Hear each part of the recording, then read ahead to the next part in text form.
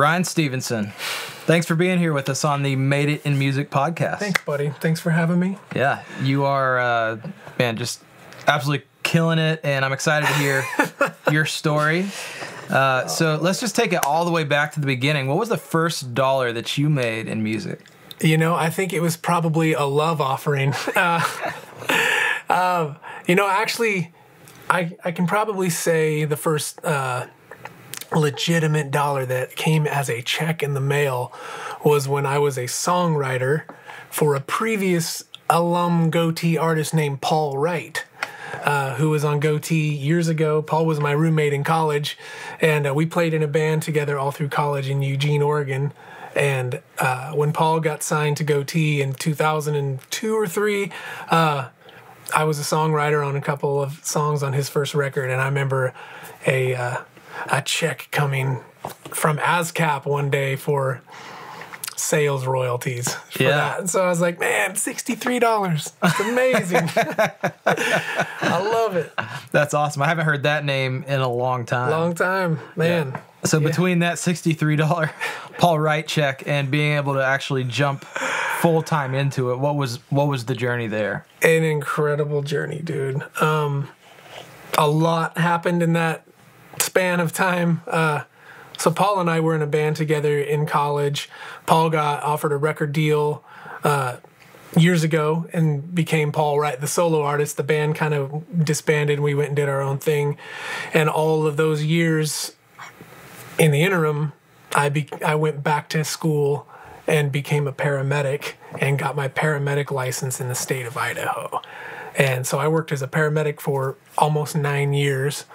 Um, and during those nine years, I worked as a paramedic 48 hours a week. So I worked two 24 hour shifts and I had five days off every week to basically do what I wanted. And what I wanted to do was play music like that that dream and that passion never died just because our band went away and uh, so i worked 48 hours a week two days in a row and then hit the ground running five days a week. So over the next several years i kept leading worship in church and i would play uh, just regional and local uh, little events coffee shops camps conferences churches anything that would let me that would invite me to go play regionally, I would just do that as Ryan Stevenson, just kind of slowly over the years cultivated this little regional Northwest, Pacific Northwest thing until uh, about 2010. Um, things kind of, through a crazy set of circumstances, flip flopped and transitioned me out of the paramedic world into Christian music. Yeah. so what was the, you know, I guess big break there? Like how did you get first introduced to record labels because you're you're obviously, you know, now signed and Yeah. um, killing it on the radio charts and everything. But what what was the first introduction there? Well, I was working as a paramedic, and I my passion, my dream was to really be able to do music full time. Um, you know, and working on the streets in the paramedic world can be really toxic. It can be really taxing, very stressful, emotionally, just uh, pretty rough on on a person. And I did that for years, and I was kind of coming to this point where I just knew, man, I'm either gonna have to transition and do something else, or I'm just gonna have to let this emotional part of who I am die and I just need to be a paramedic forever. And that was a weird that was a that was a tough place to come to uh emotionally for me cuz I'm just I am a compassionate, sensitive, soft person and I really love people, but I felt like the job was eating me alive, like chewing me up, spitting me out. And I was either going to have to sear that off and go full time the just know that I was going to be a paramedic for the next 20 years or do something different. And I just began praying, Lord, you know the desires of my heart. You know that I want to I would love to do music full time and help people with my songs and my music and minister them that way. It's always been my dream, but if that's not going to be the case and not going to happen, would you please just either let that thing die in me? I just surrender it to you. I just submit it to you. I can't I can't be walking this tightrope anymore. Uh, you just have to you have to be able to you got to be the one that does this for yeah. me lord and yeah. I literally kind of around that time i was working a paramedic shift. I responded to a 911 call that came out as a lightning strike. Sure enough this young lady got struck in the head by lightning. She was out hiking in the hills with uh, her mother and her two little boys. Um, this freak storm came out of nowhere, zapped her in the top of the head with a bolt of lightning, kills her. The mom and the two little boys get in the suburban, drive down a mile down the road to call 911, drove a mile back. I happened to be the paramedic that arrived on this scene. Um, long story short, we load her up in the ambulance and start driving to the hospital, which is 15, 16 minutes away. I end up reviving her in the back of the ambulance, and she ends up making a full recovery. And about a year later, her and I connect, and we she just starts know you know getting to know me and learning more about who I am and my life and my dreams and and uh, she said she wanted to help me. She didn't know what that looked like, but she just says, "I there's just something more to you um, than this whole paramedic thing. Like if if this wasn't what you were doing, what do you really want to do, Ryan? What do you want to do with your life?" And I said, "Well, I I told her I like I'd love to do music full time. That's my heart's desire. It's my passion." And she's like, "Well, how do you do that?" I said, "Well, I I've been writing songs for ten years, and um, I feel like I have five songs that I could make like a cool EP right now, maybe shop that around to some record companies, but I need to record them in a good way. I need to professionally record them. I can't just go into my bedroom anymore and and make a, you know, a voice memo. Like I want something legit to to send to some people and and I said, but I, you know, I don't have any money and it takes money to do that. So literally um she wrote me a check and sent me off to that recording studio and I took that little EP and sent it to a label and they they heard it and they got it and they signed me up to their label and that was my initial kind of transition point went from just obviously from the paramedic world into mainstream Christian music. Yeah, so your your very first label that you sent something to, they they signed you, but that that didn't necessarily maybe contrary to what you thought, it didn't last. Correct. Yeah, I mean, you know, and naively I thought, man, I've made it. I've arrived. You know, I'm on a major label now and the coast is clear. and and uh, 10 months into that record deal and it to, you know in all fairness it was it was a licensing deal a single option license deal which is pretty minimal skin in the game for a for a label for a company um, but i'm uh, nonetheless i'm grateful and i'm i'm i'm super thankful for them um, for even giving me an opportunity. Uh, but you know, ten months into it, after my first single, my first single did marginally okay. But then they we worked another song and it didn't do anything at AC, what's called AC radio.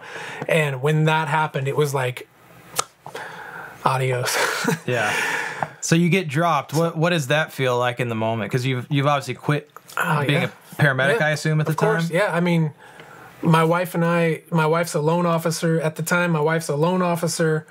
We have no children. I'm a paramedic. You know, that whole classic double income, no kids kind of risk free existence. At that moment in time, my wife had just had our firstborn. Hmm. She had just quit her job, and I was getting tour opportunities, so I couldn't be a paramedic and be a touring musician. I had to choose. And that was the major crossroads for us. And so I chose to do, we chose for me to go and and follow this music opportunity. And when that thing derailed, um, it was extremely humiliating and extremely gut wrenching. All those classic feelings, feelings of failure, regret, and shame, and just the heaviness, the weight of the world. Like, oh, wow, it's this is already over. You know, I just put all my hopes and dreams and stake into this this locomotive called the music industry, and you know, 10 months into it, after I've put all my security in this thing, it just fell off the tracks. It just derailed. And I'm I'm left with nothing, and my hope was crushed. My hope was gone. Yeah. So what did you do? I mean, I, can imagine in that moment it was kind of like, well, do I just quit? Were you thinking of like going back to just being a paramedic or? Yeah. So I I did. I I called uh, my bosses and my supervisors, and I said, "Hey, can I can I have my job back?" And they're like, "Yeah, I mean." What you know, and then it's like, well, what happened? I thought you just got signed to a record deal, and I thought you were gonna go be some big Christian rock star. And what are you doing asking for your job back? You know, obviously you couldn't make it. Obviously you couldn't cut it. So you know, were I they mean- literally like saying that kind of stuff to you? uh, no, they didn't say that. That's just what I heard um, in my head. But they're like, yeah, Ryan, you can you can come and have your job back, and but we're not going to give you like regular rotation shifts. You know, you quit. Uh, you can come back and work, but we'll give you shifts, basically PRN shifts as needed or overtime shifts that nobody really wants to work. You can have those, and so I did it, and I went and you know humiliatingly, if that's even a word, got my job back. And so I would work as needed shifts and I would just cold call churches wow. and say, hey, can I come play? Can I be a part of this? I mean, I would just, I would literally was doing anything and everything just to keep us alive. You know, we have a new baby. My wife's not working anymore. I've just quit my job. And all of these things that we once had that were just pillars of security and assurance were just gone. And um, it was, I mean, we went from all of that to just scraping by, living off my wife's 401k at the bank, like Yeah. borrowing money from her parents. Just, it was, it was really tough. So what what happened next? Obviously, that wasn't the end of your story. Otherwise, we wouldn't be sitting here. Um, during that time, as I was still working paramedic shifts and, you know, doing some more regional independent, you know, I went from, I, I had no manager, no record label, no booking agency. I was just, again, all alone. And I just, the one thing that I knew that I could do without anybody's help was just to write songs. And I just kept, I just felt like that was one thing the Lord really clearly spoke to me. He just said, just keep writing songs and I and I'll make the way. And and I'll align you with the right people. And I didn't even know what that looked like. I mean, I still had no hope, no vision, no direction. Just okay, I'm just going to keep writing songs of what, Lord, I feel like you're speaking to my heart and what you're doing in my life. And and uh, right at that time, I wrote a few songs, but one of those songs was uh, a song called "Speak Life," and I was actually recording that song for a little independent record here in Franklin, Tennessee, and um, we were recording it in a building that TobyMac owns. And Toby was actually in that building kind of around the same time working on one of his records called Eye on It. And the producer that I was working with began to show Toby all of these songs that I was working on that we were working on together. And the, one of the first things he showed him was Speak Life. And Toby heard it, loved it, got it, and you know, kind of come to find out, Toby had this whole other piece of just, he had kind of been thinking of that concept for a while, but just had this whole other piece of inspiration. And so they hit me up, said, We'd love to write this together. Are you into it? I'd love to record it. And when Speak Life, when Toby recorded and we wrote Speak Life together and, and he released that on his thing, it kind of, all of a sudden, I kind of surfaced again. And that was really Toby. When my world collided with Toby, that was really truly when I felt like I kind of got picked up from the rubble a little bit. And here's this guy that I've, you know, grown up on my entire life. I mean, since I was a kid, the DC Talk days, uh, he's been a huge influence in my life as a youngster. And here's this dude that just kind of, I felt like kind of picked me up out of the rubble and said, man, I believe in you. Let's go. And so here we are.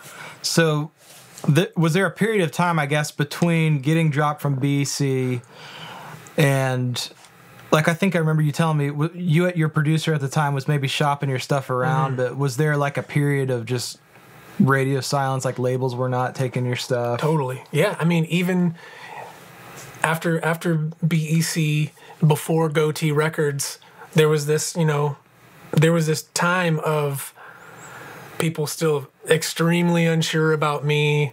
Uh, I was that guy that was on BEC. I was the older guy on BEC for a minute that somebody tried something with him and it didn't really work out. Um, we were, you know, my producer, co-writer, my dearest friend, you know, Jamie was the guy who was in town here working with me, and he was showing all of my songs and everything we were working on to all these labels here in Nashville. And I felt like we kept hearing the same thing, like, man, we when they would hear the music that we were working on, man, we love this and this is great. And these are radio songs for sure, no doubt, but no. Man, we love this, but no. Man, these are great, but no. And so you can only hear that so often and so many times before you kind of start to connect the dots of, well, um, maybe the music isn't the problem, it's me. And finally, you know, one guy was um, honest enough to basically tell me one day like hey ryan look the, it's not your music it's you. It's your voice. It's your look. Like it's it's just not going to work it's not going to stand out in this industry Wow. and so when I remember when I that day was a tough day for me, uh, and I I just felt like man, the odds are just insurmountably stacked against me. This is never gonna work, and I can't tell you why it is. So what do you do from that? I mean, that's like that's got to just be gut wrenching. I mean, you've quit your job, you've uh, your wife's working, you've got your family, and like somebody's telling you, "Hey, you're just not going to make it." Like, how did how did you react to that? How did you like move forward? Yeah. Uh, I- honestly, dude, I don't know. What I can tell you is that there was there was this there was a strange, still small voice, this certain peace in the quietness of my heart and my spirit that just always knew in the in the face of all this adversity. I just kept hearing the Lord say, I've still got you. I'll make a way don't listen to any don't listen to those voices i'm the one i am the one and i've got my hand on you and as hard as that was to believe in those moments of just in your face blatant disrespect and blatant disbelief and blatant criticism. Uh i would i would sulk for a few days. I mean that's hard to hear. That's hard to take especially as a creative person and you know but after a few days i would i would kind of get my wind back and i would just say okay lord i know. I just heard all of that. I don't even know how to process that or deal with that but i feel like you're directing my steps. Hmm. You told me to trust in the lord with all my heart and not lean on my own understanding but to acknowledge you and you'll direct me. So that is what i'm standing on. And that's just that is my only explanation. Hmm. Man, that's so good. So, fast forward, not too long after that, you've got a number one song on the top of the big AC Christian radio chart, and it's number one for was it like 15 weeks or Yeah, like 16, 16 16, weeks. I think it was. so crazy. I, Eye of the Storm. Can you? I mean, what, how did that song come about? it was never supposed to. That's the funny thing. We had my record done, and at the last moment, my A&R guy from the label came in, popped his head in one day, and he's like, "Hey, we know you already have all your radio songs done, but we you got room for one more song on your record. Why don't you just write a song that's just for you?"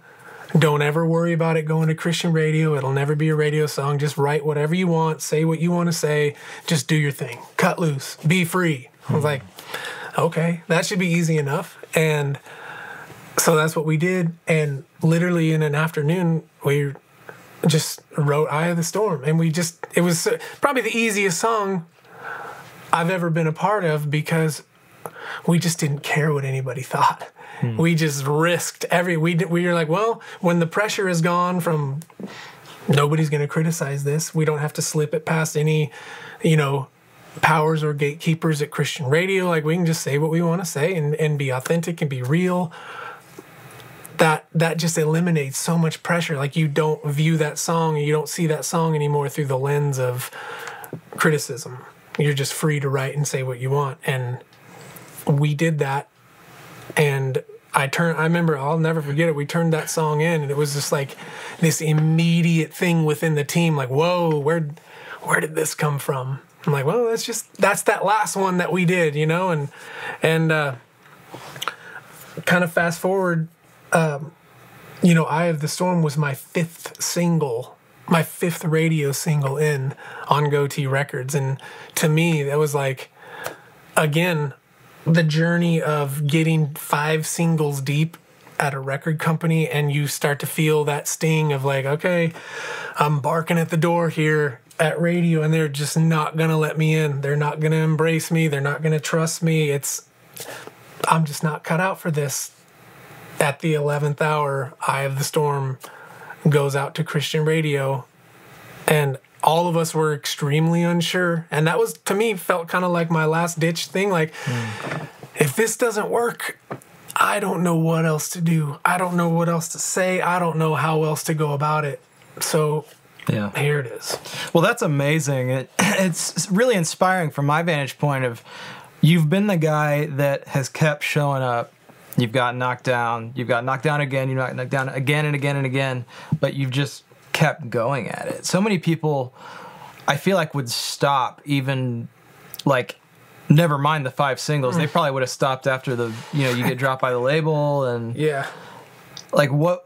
How? How? Like how do you when you're in those moments if you can kind of rewind and put yourself in there. You've you're releasing one single doesn't work second single doesn't work third single doesn't work fourth single doesn't work. Yeah. where, where are you at at that point? Like very what are those conversations like that you're having with your wife of like tense fragile um wondering did we make a mistake?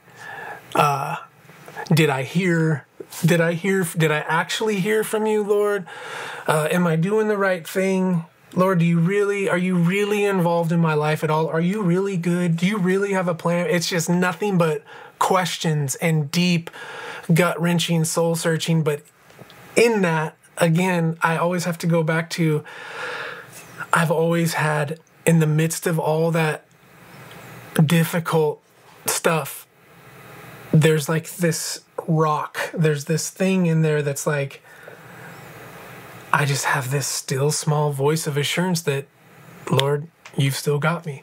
Mm. And I, you're still the one orchestrating my steps and so i just keep walking forward and and being i guess i'm just being available i just mm-hmm. keep moving forward being available being vulnerable trying to be transparent and uh but it it definitely has not been easy yeah well, man, I, I have to commend you on that because again, it's just it's such an inspiration for Thanks, you know all of us to watch stories like that and just to know you know this is for it to for it to work and for you to really pursue it that hard in the face of that much you know adversity it has to be a calling. There's there's just no no way that somebody can stick it out that long and through yeah, all that thanks know? man. Thank you. So um going to transition into the last part of our interview, full, full circle five, and we'll go a little bit more lighthearted here. sure, so, uh, good. First question: What book or record do you most commonly recommend to people? You know, there's this little book that came out several years ago. It was called The Shack, and uh, my favorite book of all time. I know it's been controversial, but to me, that book really shifted something in my heart, in my the way I look at God, the way I perceive God, the way I think about who he is as a father, his goodness, just how I relate to him, child, father. Um, I've I've just I've read it so many times now, and I, I I just recommend it to everybody because I feel like even if you don't, even if you're not you know extremely sure about like the uh, some of the portrayals of the Trinity or the like the deep theology behind it. Just the the relational aspect of child to father God uh, was a pivotal thing for me. Mm. So good.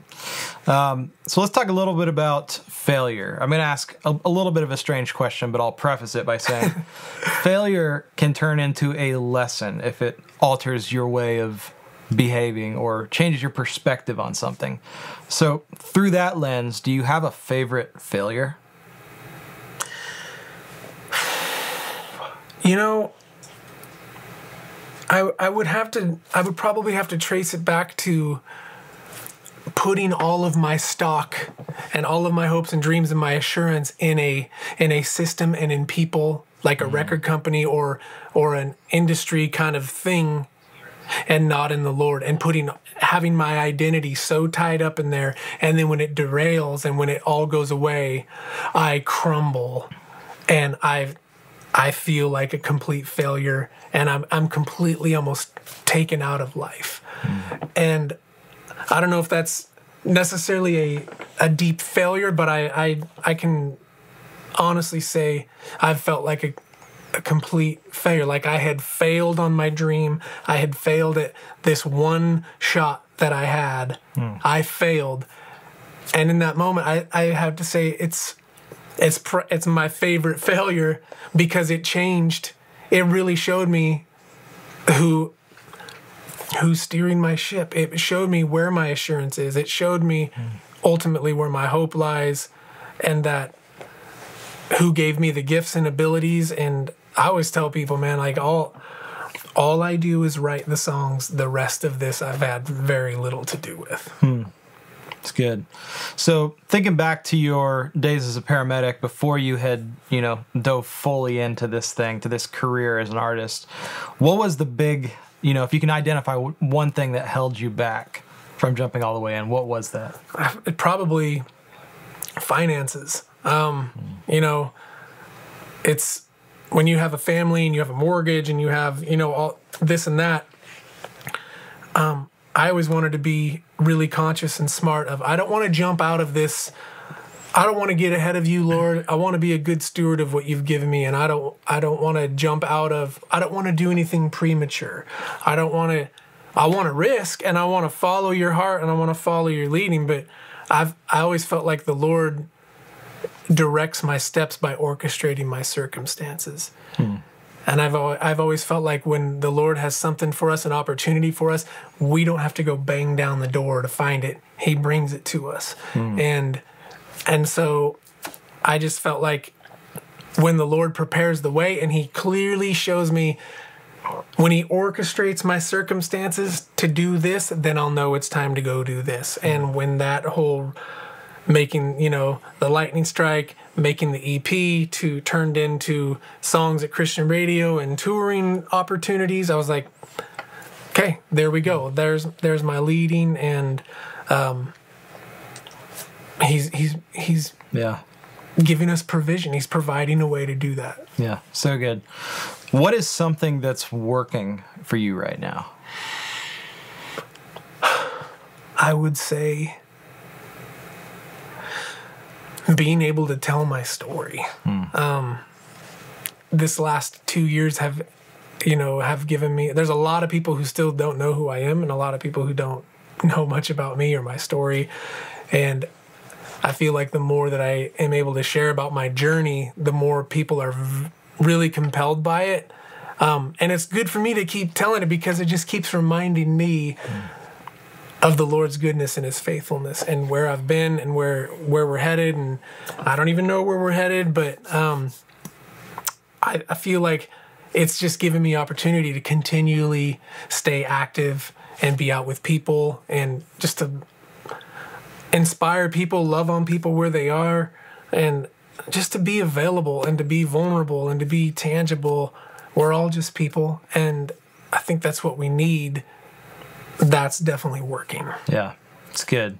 So this last question is so interesting because we, we had the, the pleasure of, of writing this morning, you, you and myself and our friend Matt Hammitt, and wrote this song exactly about what I'm about to ask you. So maybe there's some some some some raw rawness to it. But if you were to wake up tomorrow morning and all of this stuff that you've worked for this entire career, this your business, your the, whole thing just falls apart. and you've got to start from square one, but you still have all the experience, you still Mm-hmm. have all the relationships. Where would you start? Do I have to start in this business again?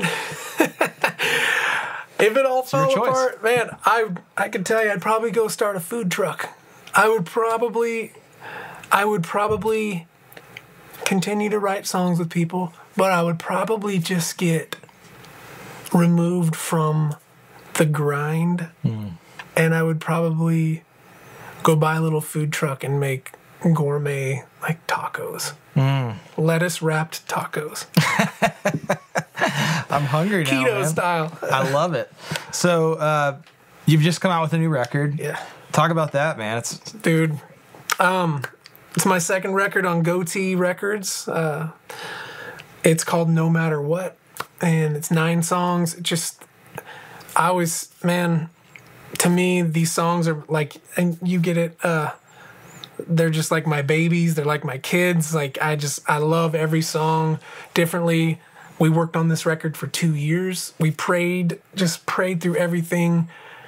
Um, I feel like every song exists for a very specific reason. Every song is saying something very different, but yet there's this very common underlying thread throughout the whole record of just beloved identity. Hmm. You are you are beloved. You're a daughter, you're a son, no matter what you think. And I I write those songs and I I wrote this record because I need to hear it. I wrote it for me because these are the things that I need to hear and if I need to hear them, I'm sure we all do. it's good. So the gospel that that was a, your first single off this record, right? Yeah. And it, it it did really well. I, I we were just talking about it before then, but if you're you know landing in the top three on on a radio chart, that's that's that's a big win. So congrats on Thanks, that. man. Thank you. And new single out as we speak now, right? Yeah, it's called No Matter What, title track of the record. Um, and again, it just comes from Romans 8, saying when Paul talks about how uh, I'm convinced that there's nothing in all creation, no, not a single created thing will ever be able to separate you from the love of God. And I, that's something that I've struggled with for a long time, especially being born and raised in the church, kind of a a legalistic religious environment where I was taught at an early age that subtly taught that at an early age that I might be able to lose my salvation, that that God is moody, that he's mostly disappointed in me, which sent me the better part of my spiritual life into cycles of dysfunction and performance based relationship with him. And it hasn't been until the last few years where I felt like the Lord has just been peeling away all those blinders and layers of lies really Hmm. and showing me that through just obvious scripture you're not you're not separated from me. You're my son hmm. who I'm well pleased. Like all these promises that we just don't don't let sink in sometimes. That's what I wanted this whole record to do was just let it sink in we are beloved children of the king no matter what we think about it So good. So how can people find you, interact with you, social media, website, all that stuff? super easy. Um, RyanStevensonMusic.com is my main website. And from there, Twitter and Instagram, Ryan's Music, R Y A N S Music, or Facebook, Ryan Stevenson Music. Yeah. Easy. Love it, man. Well, thanks for being here with us and sharing your story. Thanks, buddy.